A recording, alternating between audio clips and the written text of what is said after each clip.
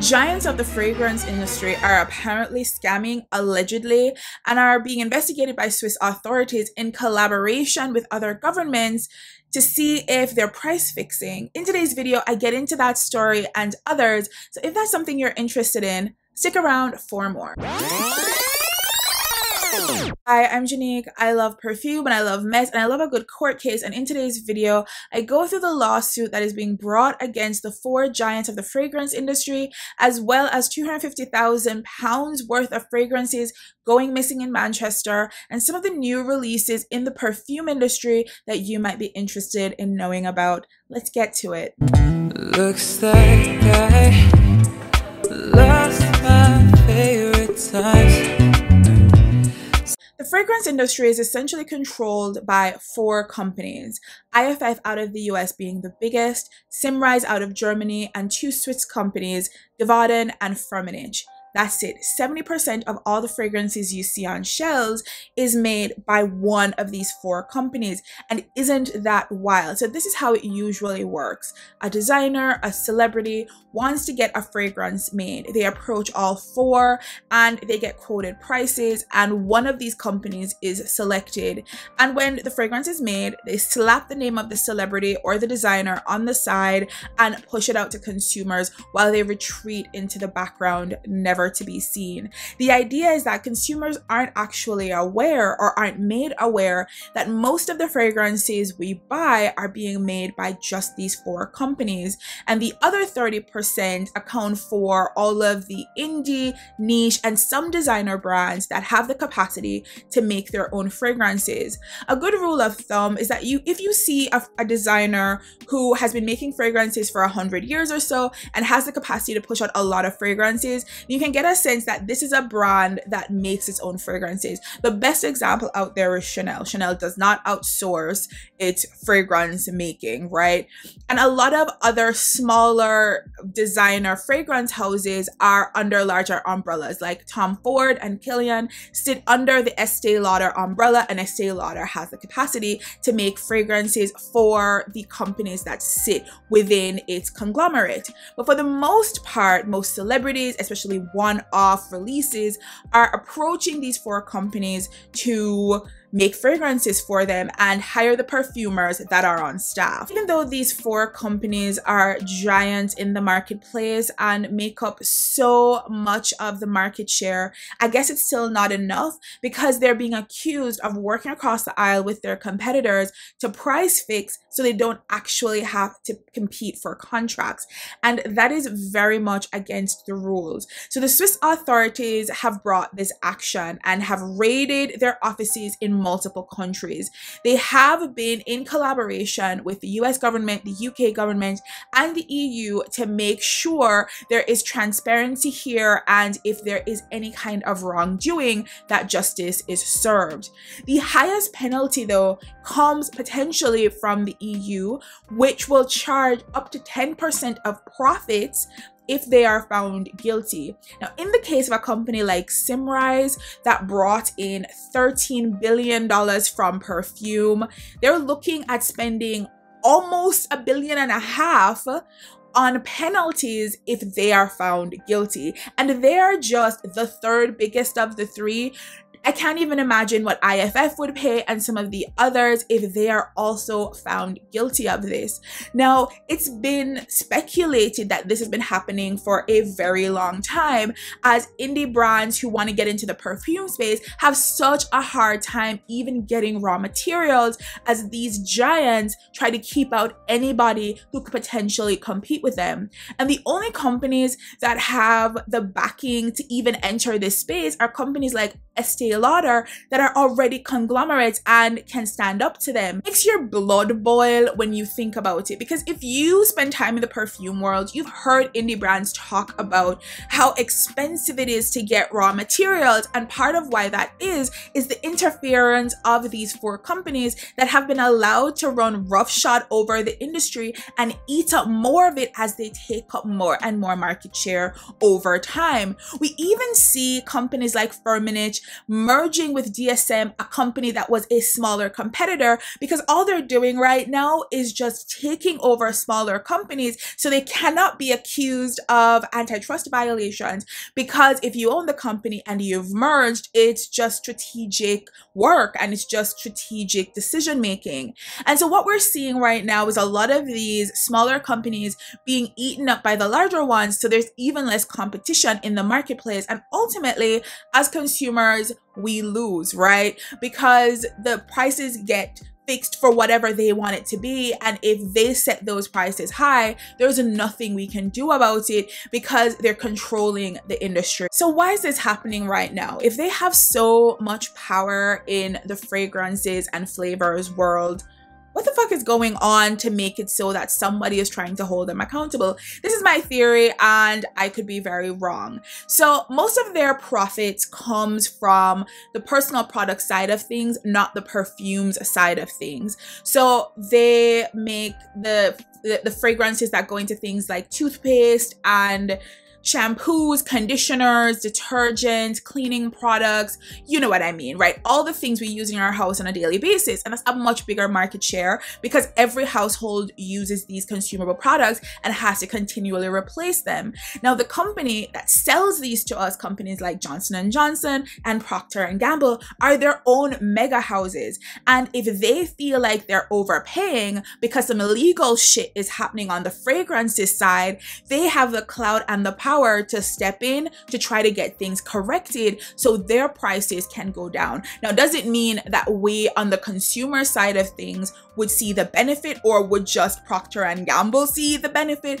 I am not sure, but at least a few giants are going at each other. Giant Procter and Gamble, giant Givaudan, giant Swiss authorities, all fighting it out. And I would love to see what happens. Speculation is that this won't actually be settled till 2024 because court cases take time. So I'm going to keep my eye on this because hopefully we get to see more diversity in the fragrances world as these companies aren't allowed to strong arm any type of competition, no matter how small, because ultimately it means less diversity in the marketplace, less products for us, and we ultimately we ultimately pay for this. So hopefully we see some good resolution here. I know that a lot of the sentiment out there when it comes to this case that nothing will come of it, but I think if you have companies like Johnson Johnson, Procter Gamble, Colgate who are complaining about these companies, we might we might see some resolution if those big giants are angry enough. So let's see what happens. A very different story, but a kind of a strange one that piqued my interest and I'd love to hear more information about because two and two not making four. It just does not make sense what is happening here. So a Cheshire, London, UK factory was broken into that belonged to Royal Fragrances London and 250,000 pounds worth of high-end luxury fragrances were stolen. These are fragrances that essentially sell for about 250 pounds to 350 pounds all went out the door as 10 people went into this factory and stole vans worth of fragrances and the owners of this company were not aware for two weeks. What? So they're looking to fulfill an order. They're located in the Middle East, and most of the fragrances that are held in this establishment, in this warehouse, are meant for perfume buyers in the UK as well as in the Middle East. When an order wasn't filled, the owners of the company reached out to the factory to see what was happening, only to find out that two weeks prior, the inventory went missing and a police report was filed, but the higher ups were never informed. What? How? How is this allowed to happen? Anyway, the police have been investigating, but there are no security cameras and no information about what happened. This massive theft happened and no one's the wiser for a long time it seemed like no one even knew what was happening or that it had happened which is just wild to me and so strange. But this story is like one in a line of others of all of these thefts that have been happening as fragrances have begun to explode. The industry has boomed as people have gotten more and more into perfumes. It's become an even hotter commodity with people going out of their way to steal it. So what do you think about this story can we believe that 250,000 pounds worth of product could go missing from a warehouse without any executives and any owners of the company being aware of what had happened. Who do you think's at fault? Do we think the factory people were in on this? Do we think the factory manager was because like how do 10 people 10 people walk in and rob this factory and no one be found no evidence be left no camera be working. It just see, it seems like an inside job allegedly. I don't know that but i'm just saying it sounds fishy to me and i wanted to bring it to your attention. What do you think about this story where do we think these fragrances ended up on the gray market? I would be curious to find out. Last up, I'm going to get into some newly released fragrances. These are the ones that are on my radar. There are obviously going to be so many more fragrances that were recently released since my last video, going through some of the fragrances that had been released up to that point. But today I'm just going to go through six or seven fragrances that used to be five that I'm interested in trying myself and talk you through some of those. In my last video, I talked about just about everything that was being released that came across my desk. But i ultimately decided since i wasn't interested in like half of those i'm not gonna get into it. Because if you're looking for a super masculine woody fragrance you wouldn't be coming to my channel looking for fragrance recommendations. Anyway so i'm just gonna talk about the ones that i would want to try ones that i'm interested in and the ones that i hear people talking about. So let's get into it. First one i want to get into is Juliette has a gun Lust for the Sun. And this is our introduction to Juliette has a gun's summer fragrances for 2023 and I'm intrigued but I'm not super excited. So what's in this one? It is a white floral with some fruit in it. It has freesia, gardenia, orange blossom, all the tried and true ones. We have some ylang ylang for some yellow floral energy and some freshness there. We have coconut, we have vanilla, we have musk. Everything here is pretty standard fare when it comes to a summer fragrance. So I'm not sure what kind of difference Juliette has a is offering to us as consumers. But I will say I've always been pleasantly surprised by fragrances from this brand. So I'm not going to write it off just because the notes sound pretty predictable. I will give it a try. If Sephora has a sample and I get to test it out, I will let y'all know. I'll report back. But I'm excited to try it. I'm just not excited to buy it. That, that's what I'm going to say about that one. I'm not a Tom Ford girly. I'm not a Tom Ford baddie. I usually stay far because for the price, for the performance, the two just don't go together for me. It does not usually make sense. But I am intrigued by the newest fragrance, Soleil de Feu, which is is supposed to be a summery fragrance. It's called Fiery Sun essentially. And what's in here is tuberose. It's tuberose, sandalwood, some benzoin, a little bit of musk.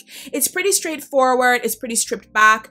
And if it's a good tuberose, I would love to give it a try. I'd love to give it a smell. Would this be the first Tom Ford fragrance I spring for? If it's special, maybe. But there are a lot of tuberose fragrances on the market and I stay looking for them. I stay searching. So in keeping with my whole vibe, I will try this one because just it may be magic and I need to know about it. But if it performs like all Tom Ford fragrances perform, I'm going to be disappointed. What we can hope for is one of these Middle Eastern fragrance houses dupes that shit and we can get it at a discount. We can get it at a bargain and I can report on that part. But I will be looking for a sample of this or going into Sephora to test it out because I do love tuberose so, so, so, so much. And if there's a good one or a great one, I need to know about it and be on top of that. So the Dolce line is getting another flanker. So this is from Dolce & Gabbana. Their Dolce line is a series of EDTs that are usually focused on a single note or a series of notes like a bouquet. And we're getting the violet version, Dolce Violet. No, I can sometimes be a little salty about flankers because it sometimes feels like instead of giving us a new line because it's a completely different fragrance, it's going to add on more flankers to a popular one. It's a little bit annoying, especially if the DNA is very, very different. But with the Dolce line, I like the idea of it, right? Which is just a line of these EDT, usually less expensive. On like discount websites, you can usually find these for between 30 and $55. And for a good smelling Dolce & Gabbana fragrance, like I feel like that's a good price point. My favorite of the bunch is maybe there's an iris one, there's a peony one, there's a lily one. They're all really lovely. There's a garden one. There's a lot of them. There's two rose ones. There's a lot of them. And this is the violet one. Now, I had mentioned in my last video on, you know, perfume news that it seemed like violet was the new trending um floral note because it felt like everything was coming out with violet in it and here we are again my prediction was right or my you know, observation was right that violet seems to be the thing right now. And so we now have Dolce Violet. Now, violet is not my favorite um floral note it's okay for me. And in some things especially paired with woods i find it to be kind of lovely but i don't go out of my way to track down violet fragrances. But because these are usually so inexpensive they usually perform really well they're usually very fresh and great for summer and spring i might check this one out. This might be my first dedicated violet fragrance. I do have violet in fragrances in my collection but that wasn't the reason i went and got them. This might be an exception I don't know yet. I'll let y'all know. The celebrity fragrance among this bunch that I'm curious about, intrigued by, and maybe interested in trying is Dance Ocean from Shakira. The bottle is cute. I'll have it on the side of my head, a photo of it so you can take a look. And I'm excited about this one. Number one, you know, celebrity fragrances are usually pretty inexpensive. Shakira fragrances usually rate pretty well, and I'm intrigued by this one based on the notes. So the main floral notes in this one are rose and jasmine. Sounds good. We have some spices like pink pepper and ginger, two of the spices that are exceptions for me in that I like these two, but the fruit notes sound very, very summery to me, and I'm very excited about them. We have orange, but most importantly, we have mango. I don't think we have enough fragrances with mango I'm just saying more fragrances need mango. It is it's so delicious smelling. So I am excited to try this one. The bottle is really cute with the chain. It's a vibe. And I'm excited to check this out. Plus, she's going through a lot. We need to we need to support this this wonderful, beautiful woman. I'm just saying. Next one was supposed to be the last one, but I now, because Jackie Aina posted about some Bulgari, Bulgari fragrances. I'm going to mention those next. But before, what was going to be the last one I was going to mention is the reformulation of Calvin Klein's Euphoria EDT. So the EDT version is from back in 2009 we've all tried Euphoria, right? Like it's one of those fragrances like CK1 that we've all made our way through at some point if we love fragrances. I still have like a little mini bottle, like a 15, 20 mil of Euphoria because it's so nostalgic for me and it still smells good. That's the EDP version, but they're coming out with supposed to be like a lighter, fresher version of the EDT version, except we don't have the reformulated notes yet. We still have the 2009 notes on Fragrantica and everywhere. So I don't know what changes will be made, but it is on my radar. I don't know if I'll go out of my way to buy it because I do already have a bottle I rarely ever wear. But I love to see an oldie but goodie come back with a vengeance and maybe convince a few youngins to get in on get in on it because you know what? Euphoria does smell great. And those 20 year olds, 15 year olds who've never tried it deserve to because, you know, it's it's so good. So the last fragrance I want to talk about came onto my radar because I was scrolling on TikTok like we do and Jackie Aina posted a video about some of the fragrances she recently bought while she was in the Middle East. You're stuck in Dubai for seven hours because of a layover. What do you do? Please, you spend money. Don't even play with me. I bought a lot of perfume because it's Dubai. Of course I did. Oh. Okay, I'm becoming a Bulgari girl. They're kind of becoming my new favorite. I think these were meant to be like concentrated enhancers, like toppers. So I bought Musk musk. It's actually called magnifying musk. And then I also have magnifying bergamot. Now, these are pretty like straight shooters, just musk, just skin. And then this one is bergamot. They're just the note so that you can put it on top of something else. I usually say no to samples everywhere, but it's perfume. Maybe having perfumes in Dubai that we don't got in the US. So I say yes to everything. Give me a sample of the sample. And it happened to be Bulgari's Magnifica and some other fragrances that are part of the Allegro line. So this is a new release. It costs about $350 and the top up magnifying essence costs about $250. And so to get the whole package, you're looking at about 600. Now here's here's the reason why like Bulgari isn't on my radar because it's supposed to be at the lower end of the fragrances they release and in my estimation it's pretty expensive especially if you have to buy an accompanying bottle of something to make your fragrance perform better. So what is Magnifica? Magnifica is essentially just sandalwood and rose. Apparently it smells nice if you love a rose fragrance. I don't know what type of rose it is, if it's more matronly or if it's younger rose. I am not sure, but those are the notes in this one. Will I be trying it? No, I will not. Mm. But maybe you want to try it and you're fascinated by the beautiful bottle and the whole aesthetic of Bulgari. And if you are, you're welcome. I just, you know, mentioned it, talked to you about it, and I hope this was helpful to you. Now, the Allegro line is pretty expensive, but you do have the Omnia line if you're looking for something more affordable and you want to get into some of these Bulgari perfumes. Those sell for about 130 to 150 dollars and they're sold at places like Sephora and The Bay and Shoppers. So if you're interested in checking those out, I've heard good things. Do that. Let me know if you tried them and you enjoy them. So thank you so much for stopping by and checking out my video today. And I hope you enjoyed it. You're as outraged as I am that these four companies are allegedly price fixing. No. And that these thieves, 10 thieves, got away with all the perfume, each with about 25,000 pounds worth what? And all of these fantastic new fragrances, some of which are better than the others, that I want to try, maybe you want to try. I think the one that is highest on my list, what I'm most excited about, is that Tom Ford Tuberose. But I'm also pretty excited about the Shakira fragrance. I mean, color me basic, but I do love a celebrity fragrance because they're usually pretty affordable and they perform well, and I'm all here for it. Here's the contradiction because you know if it's a celebrity putting out a fragrance, they're probably going through one of the big four. So I am supporting them even as I critique them. I mean, life is a life is all about contradiction isn't it? Anyway, I'm glad you stopped by. I hope you enjoyed the video. Check out my last video on the coquette aesthetic and some of the history behind it and some of the fragrances I would recommend if you're into that particular trend. Anyway, I'm Jeanique, your fragrance fun time friend who loves talking about fragrance, tea, news, and all the things. And I hope you come by for more. And if not, just like, comment, subscribe, give a thumbs down, give a thumbs up. It doesn't matter. Just do something. Show me you are here. I'd love to see it. Bye, y'all. See, you've been mind. I've been seeing great lights, such a great light. Let me talk to you in straight.